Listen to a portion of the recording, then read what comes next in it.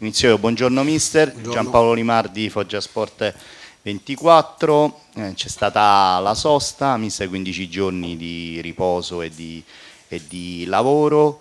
eh, quindi insomma è ovvia la, la prima domanda, com'è la condizione generale della squadra, come la trova, anche se ovviamente anche questo campione di Serie B vi sta obbligando un po' ad adeguarvi questo nuovo regime, le soste, le ferme, quindi è anche sempre complicato definire prima di una gara come ci si trovi, però insomma il livello diciamo, generale per quello che lei ha visto come la condizione de generale della squadra e poi magari entriamo nei particolari. Ha, ha detto tutto lei, ha fatto la domanda e ha dato la risposta, quindi eh, bisogna adeguarsi a questo campionato, eh, da adesso in poi in due settimane avremo quattro partite, quindi poi ci saranno altre due settimane di sosta. E la squadra ha lavorato bene, ma come sempre e, ci avviciniamo a questa partita con il Cosenza sapendo di affrontare una squadra che è in salute, una squadra viva, una squadra molto dinamica, molto aggressiva, però noi siamo il Foggia e la nostra mentalità cerchiamo di costruirla partita dopo partita e quindi dobbiamo essere bravi ad andare lì con la stessa mentalità e a cercare di fare risultato, sapendo che partite in Serie B scontate non ce ne sono, ogni partita è, è un esame e questo per noi è un bel esame. Ecco, entrando nello specifico, condizioni di alcuni giocatori, di quelli che diciamo, erano reduci da una situazione, per esempio Kragel,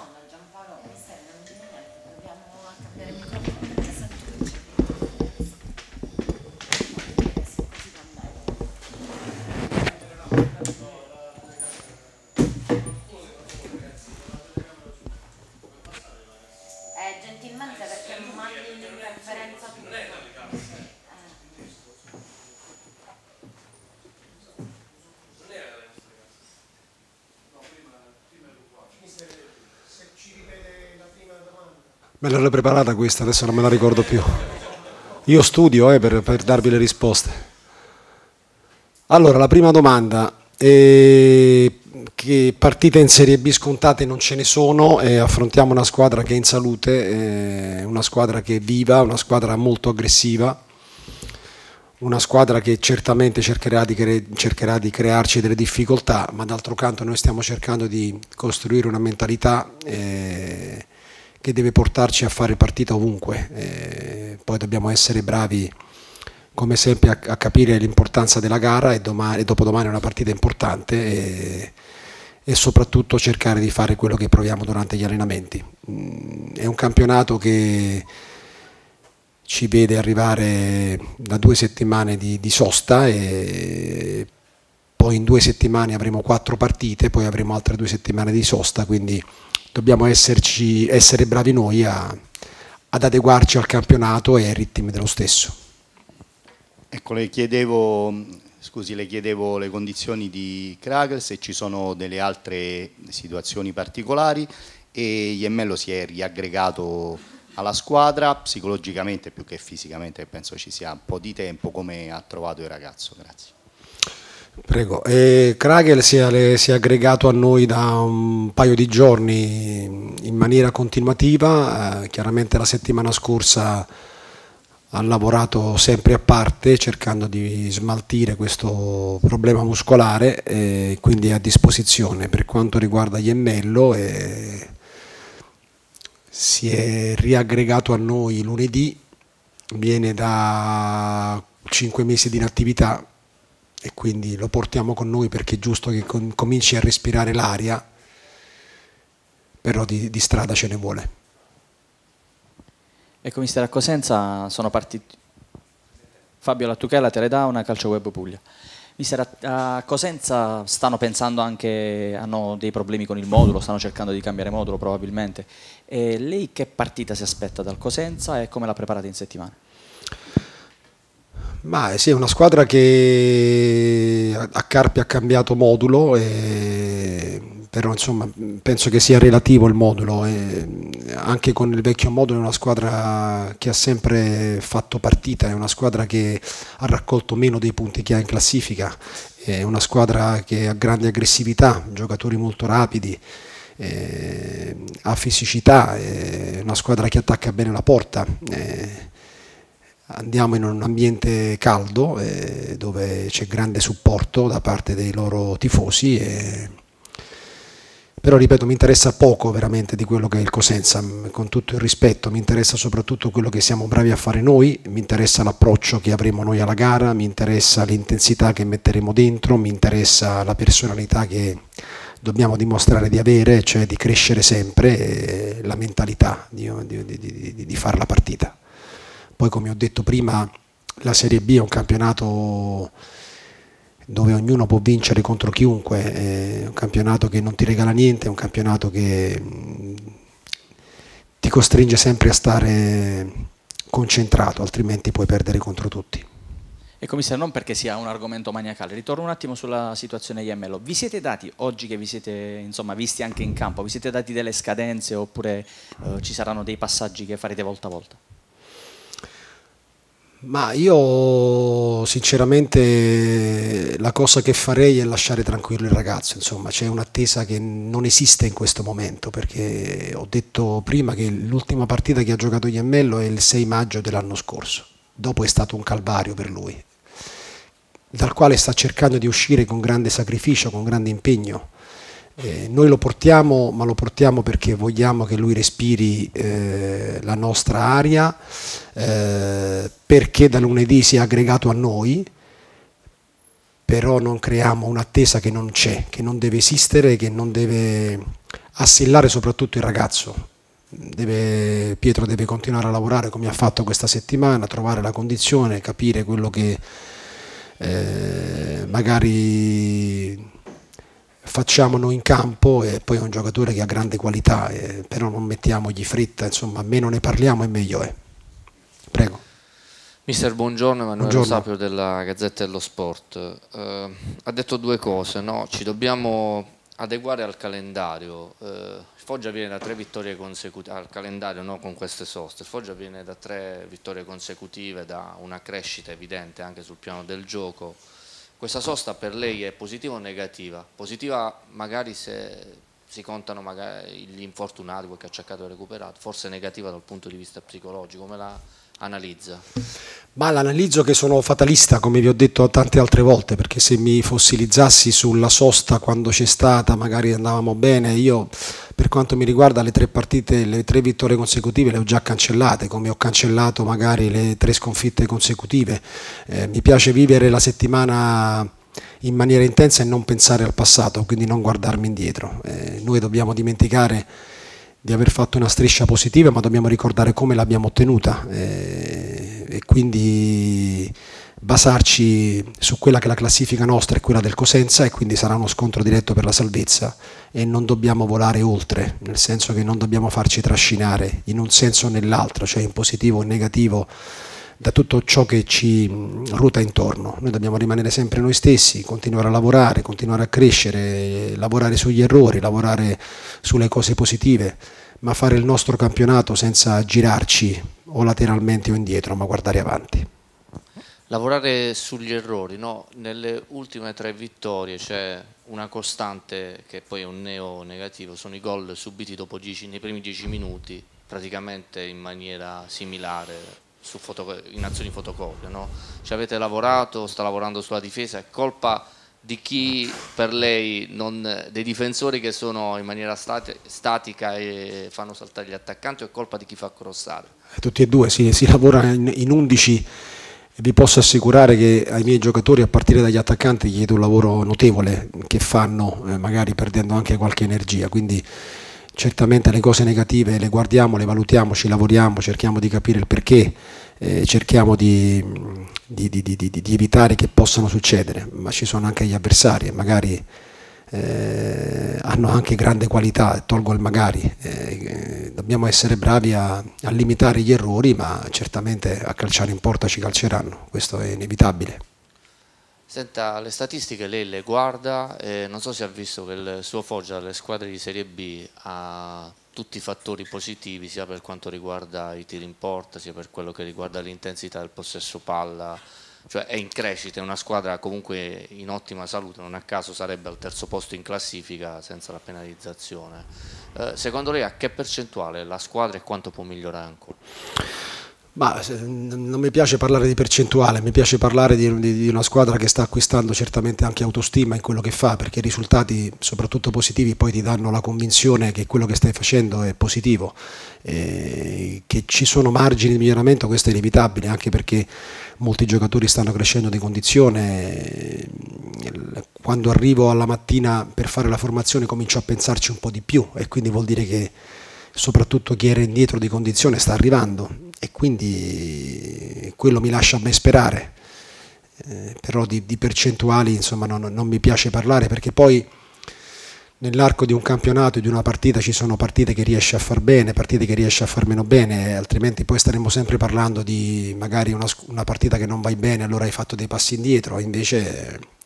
sappiamo del lavoro che dobbiamo fare, sappiamo della qualità degli avversari, sappiamo che la, la, la, la crescita eh, negli ultimi tempi è stata costante, ma non dobbiamo abbassare la guardia perché poi ogni partita nasconde delle insidie. Un'ultima cosa gliela chiedo sui singoli, Rizzo, eh, a che livello è, eh, se c'è qualche problema per Camporese, come sta Kragol, come eh, vive la squadra quotidianamente e come arriva a questa partita di Cosenza. Ma eh, abbiamo ancora un allenamento per, per valutare tutte le situazioni, eh, qualcuno ha qualche problemino, qualche acciacco, ma lo valuteremo poi la mattina della gara. Eh, la squadra poi sta bene, ha lavorato bene, la settimana scorsa abbiamo fatto un lavoro incentrato un po' di più sulla forza, questa settimana abbiamo lavorato più da un punto di vista tattico, eh, però ripeto... Sì, sono tutti convocati, siamo in 25, eh, rimane a casa Arena e per infortunio, Cavallini si aggrega alla primavera e poi partiremo tutti. Buongiorno. Sì, sì. Buongiorno mister, Buongiorno. Raffaele Fiorella, Gazzetta del Mezzogiorno. Eh, diceva prima, um, comincio a metterci un po' più di tempo nel pensare alla formazione rispetto a prima. Il collega faceva anche riferimento prima a Rizzo. A questo, a questo proposito, questa settimana cosa ha detto in, in, previsione di questa partita? Il Foggia ha trovato una sua stabilità da 3-4 partite a livello di sistema di gioco e anche di, di scelte negli uomini, al di là forse di una barra due al massimo eh, differenze partita per partita. Per questa di Cosenza come, a che punto sono le valutazioni? Che incomincio a pensarci eh, un po' di più. Eh, vi ho detto dopo la partita con l'Ascoli che il, eh, la staffetta Gerbo-Zambelli l'ho decisa un paio d'ore prima della partita, mi sono portato il dubbio poi tutta la notte e così sarà domani, ma soprattutto dalle gare che poi verranno, perché poi abbiamo delle partite ravvicinate. certamente rispetto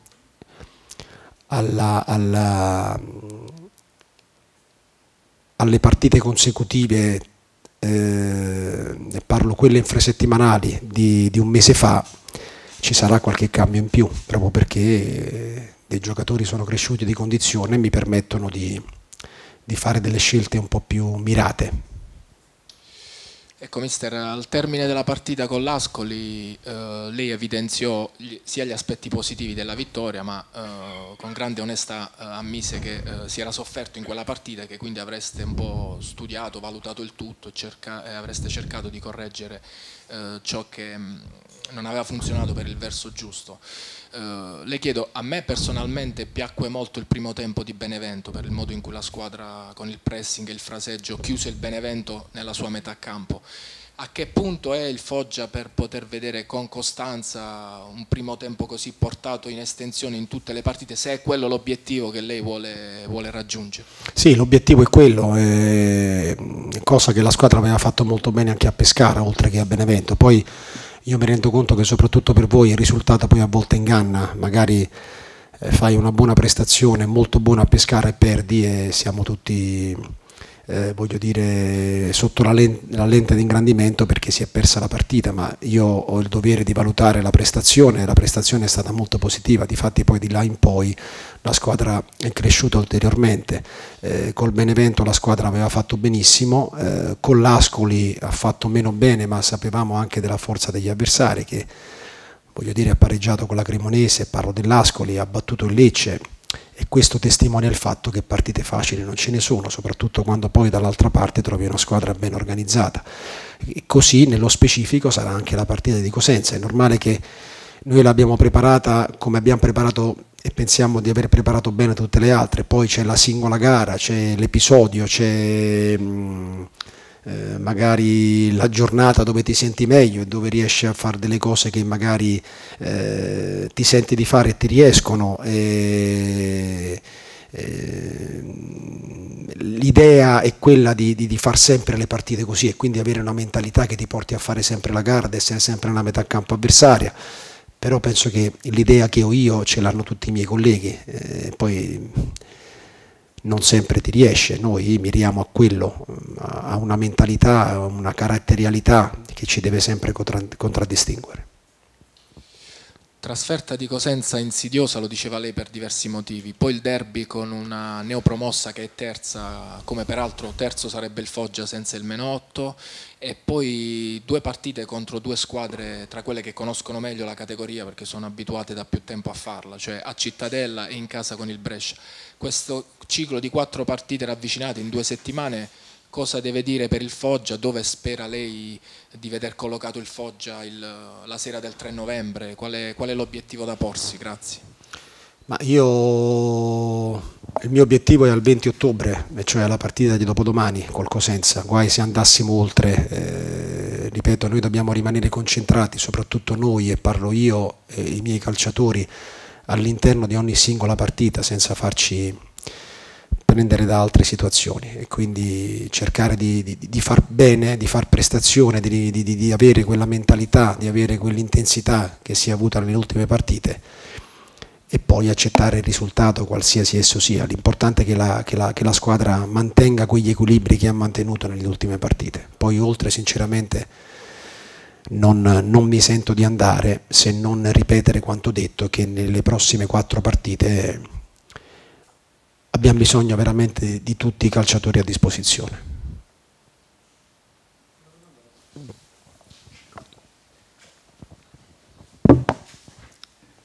Domenico Carella, Foggia Sport 24 e Corriere del Mezzogiorno. Eh, buongiorno, buongiorno. mister. Eh, le chiedo, si parlava prima di un Rizzo no, che sta cercando di recuperare più presto la piena forma. Nel suo scacchiere, anche per le caratteristiche che ha nel 3-5-2 visto fino adesso, quale ruolo potrebbe ricoprire, mi spiego, una mezzala più offensiva, eh, quello che potrebbe essere il compito che stiamo vedendo in questo momento fare a Deli eh, o magari anche dietro la punta? Ecco, cosa, cosa ha in mente per eh, un calciatore come Rizzo?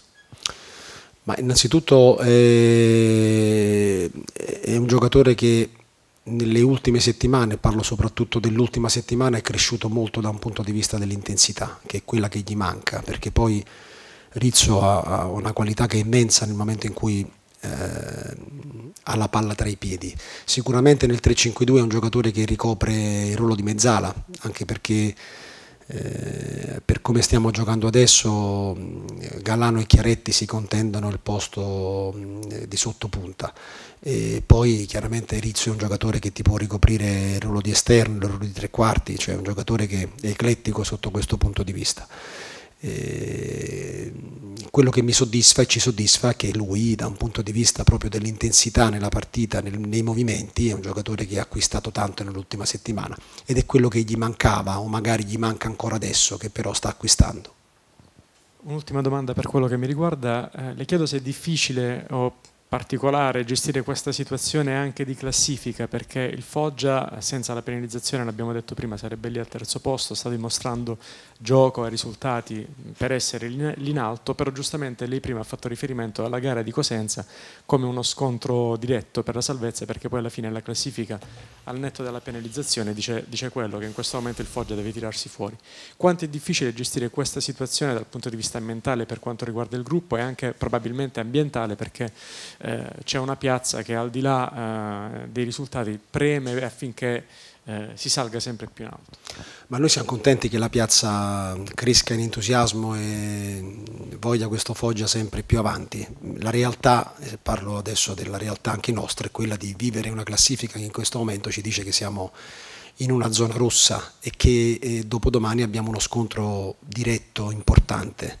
Quindi mh, dobbiamo sapere che dobbiamo andare a, a Cosenza con il coltello tra i denti, anche perché loro non hanno ancora vinto, anche perché loro in casa ci tengono a far bene, anche perché abbiamo visto che è una squadra che crea tanto, che ha grande dinamismo, grandissima aggressività e quindi se poco poco dovessimo arrivare lì tacco e punta, ce ne torneremo carichi di meraviglia indietro, ma siccome ho la fortuna di guidare un gruppo molto intelligente e maturo da questo punto di vista, sappiamo che è una partita per noi importante, soprattutto da un punto di vista di, della, della, della, della crescita, e parlo dell'autostima, della consapevolezza, della mentalità, che non dobbiamo assolutamente sbagliare, almeno questo. Poi come dico sempre ai ragazzi, tireremo una, una, linea a fine gara e accetteremo qualsiasi risultato, ma guai se venissimo meno da un punto di vista del carattere, vuol dire che avremmo sbagliato strada, questo non possiamo permettercelo.